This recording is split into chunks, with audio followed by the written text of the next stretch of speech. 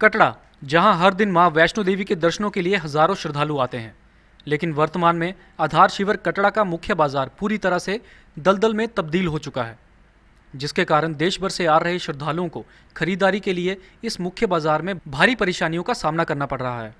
वहीं दूसरी ओर, लगातार वाहनों की आवाजाही के कारण कीचड़ व गंदा पानी दुकानों के साथ ही राहीगरों के ऊपर गिर रहा है।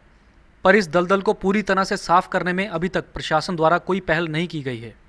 नमस्कार, हम खड़े हैं इस टाइम कटरा वैष्णो देवी के मेन बाज़ार के अंदर। आपको बता दें मेन बाज़ार जो है कटरा का, वैष्णो देवी का, पूरी तरह से दलदल में इस टाइम लीन हो चुका है। पीएचई विभाग के द्वारा यहाँ पर तीन दिन पहले जो है पाइप बिछाने का कार्य किया गया था। पाइपलाइन इतनी लापरवाही से बिछाई गई थी। उसके बाद से जो है मिट्टी इतनी, तीन से चार फुट तक मिट्टी आप देख सकते हैं, अभी भी पूरी ऊपर गिरी हुई है। पीएचई विभाग के द्वारा जब कार्य यहाँ पर किया गया था, उसके बाद जेसीबी लगाकर मिट्टी को नहीं हटाया गया यहाँ से। दरअसल, जल पूर्ति विभाग द्वारा बीते कुछ दिनों से इस मुख्य बाज़ार में पानी की नई पाइपें बिछाने का कार्य चल रहा था। पर विभाग के कर्मचारी पाइप बिछाने के बाद पाइप को तो ढक रहे हैं, लेकिन ज़मीन से निकली मिट्टी आदि को पूरे बाज़ार में बिखेर रहे हैं। इसी के कारण पूरा बाज़ार दलदल व कीचड़ से भर गया है और ना चाहते हुए भी नगरवासियों के साथ ही श्रद्धालुओं को कीचड़ और दलदल के बीच से गुजरना पड़ रहा है।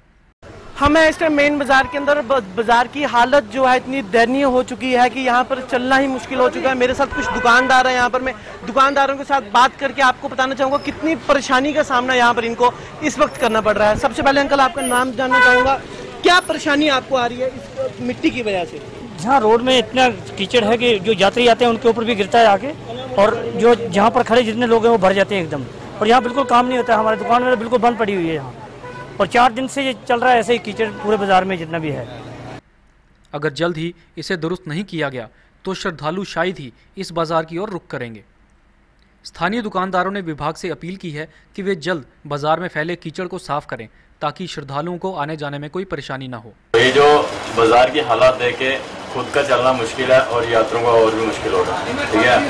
रात को भी टैंकर फंसा था जो कि जेसीबी ने निकाला उसको। और अभी भी दो दो चार चार मिनट के बाद कोई स्कूटी बाइक वाला गिर रहा है कोई मिनी वैन ये सब फंसते ही जा रहे हैं। कटड़ा से शुभम शर्मा वक्त इंडिया।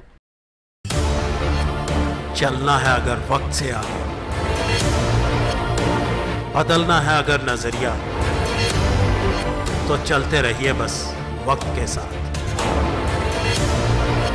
हम दिखाते हैं सबसे पहले बेशक हो छोटी खबर या बड़ी। वक्त इंडिया। यही वक्त है।